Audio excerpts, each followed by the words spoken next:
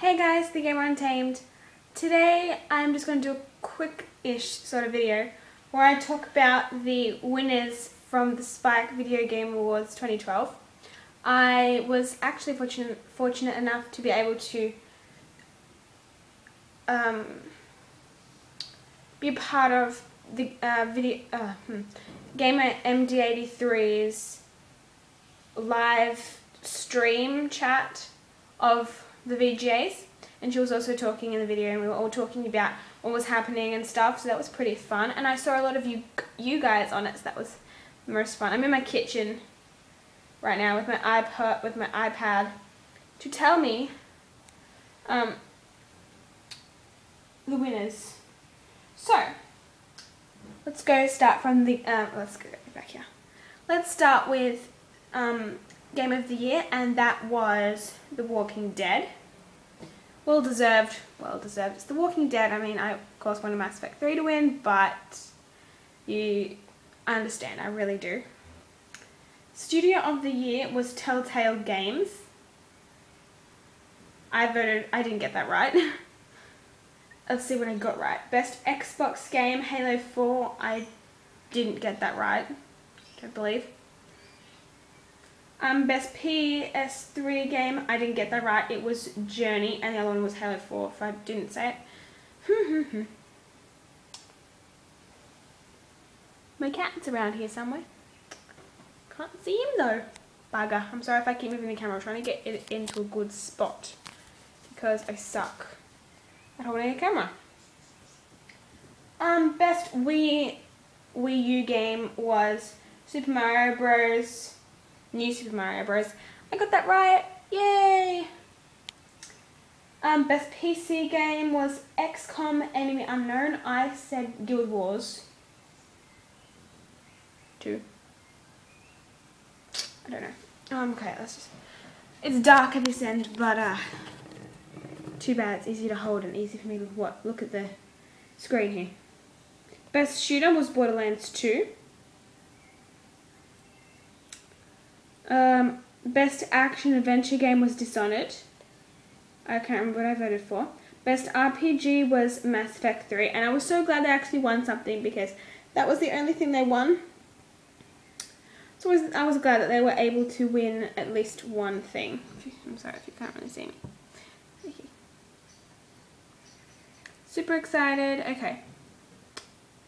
Best multiplayer game was Borderlands 2, surprisingly. I would have thought it would have been um, Call of Duty Black Ops 2 or... I can't remember what the other one was. Um, best individual sports game, I got it right, it was SX, SSX.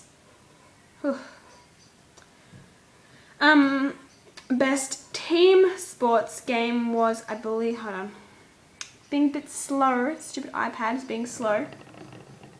By the way, guys, I would actually really love some suggestions for next videos that I could do, please. Um, was, it was NBA 2K13. My friends play that and I, I really understand why. I did not vote for it though. I thought maybe not. Um, best driving game was... Oh, damn, I had it in my head, then I knew it. Oh god, I forgot. Need for Speed Most Wanted, that's the one. Um, best song in a game was for Journey, and the so no, was for Sound Shapes, and it was Cities by Beck.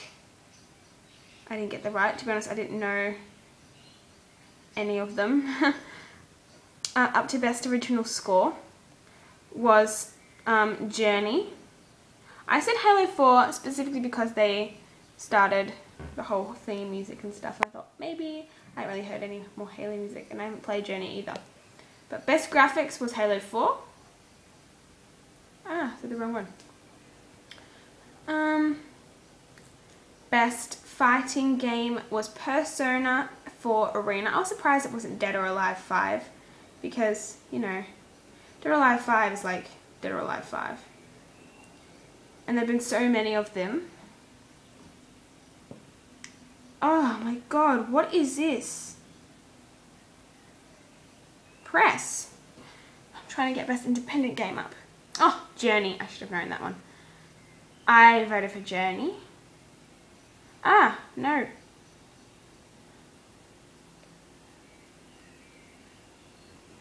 There was actually one category that I was actually really disappointed about, and I'll explain which one that was later.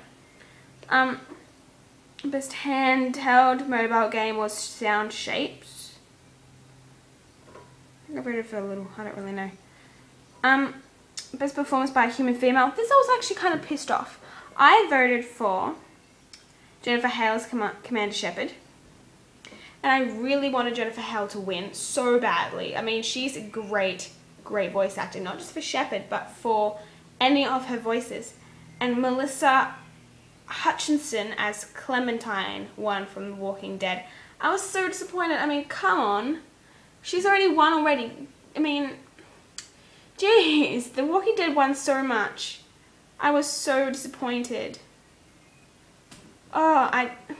Even um, Gamer MD83 also thought that um, she should have, um, Jennifer Hale should have won, and I was so disappointed about that, but you can't really do much about it. Um, best performance by human male was, oh geez, I had it in my head again. It was from Borderlands 2 and was um, Dameon Clarke as Handsome Jack. I voted for that. I knew it. I just knew it.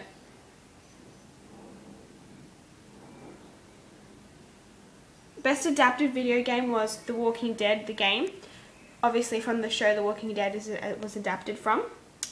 Best DLC was Dawnguard, Elder Scrolls v Skyrim.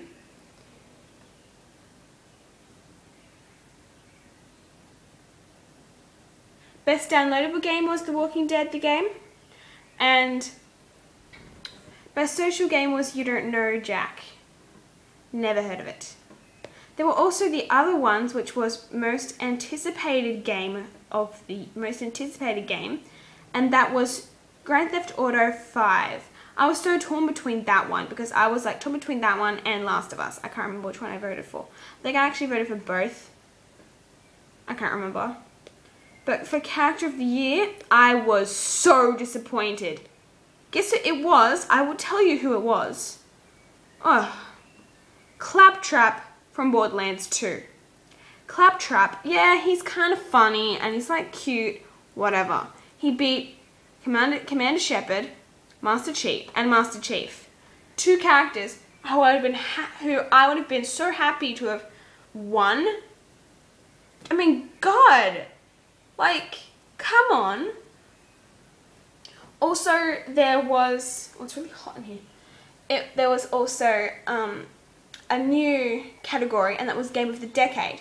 And I was looking up online because we all want to know where the um, nominees were and I found them. And I told rest the, everyone else. And the nominees were pretty good. I mean, there was like Half-Life 2, Red Dead Redemption, Mass Effect 2. Um, Portal, Portal, yeah. Bioshock, and there were heaps of other ones, and including Wii Sports. Wii freaking sports? Are you insane? People who did these nominations. Like, why would... Yeah, okay. Wii Sports was like a revelation for the Wii. But it's not worth Game of the Decade. No freaking way. But I was happy because Half-Life 2 took home that. And I was so happy for them. That was a um, great achievement. And yeah, that's pretty much it actually. I was actually kind of pissed off at the VGAs a little because they had people like Jessica Alba come on the show. And that was absolutely retarded. I don't know why they had her on there. She was just like, oh, yeah, here's the world premiere for this game. Ha ha ha ha ha. Oh, I bet she hasn't even played a game in her life. Um, also, there were heaps, there were, there weren't many world premieres actually.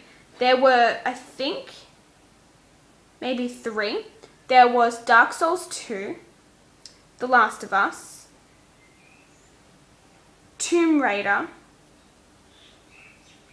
um, The Phantom Pain, Bioshock Infinite, and Castlevania Lords of Shadow 2. I was, everyone on the chat that we were on was kicking ourselves over Dark Souls 2 because we thought it could have been Dragon Age 3.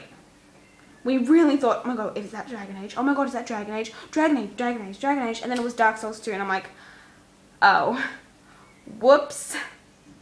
But um, yeah, it looked so good. I was in heaven when I was watching that. Also, Tomb Raider World Premiere wasn't that bad. I thought that it was pretty good. I thought I could actually play that game. I mean, it looked it looked much better than any of the other Tomb Raider games that were that are ever out. So yeah, I was pretty interested in that. Wasn't interested in Last of Us. And wasn't really interested in Castlevania. So, yeah. Wait, did I say Last of Us? I mean Bioshock. Wasn't really interested in Bioshock or Castlevania. So, yeah, that's my little short, not even short now, it's 11 minutes, chat about the VGAs. Hope you guys have a fantastic day and please leave me a message or a comment below to tell me what kind of videos you would like me to do because I'm actually running out a little. Just a little. So yeah, that'd be awesome and I will talk to you guys later. Bye.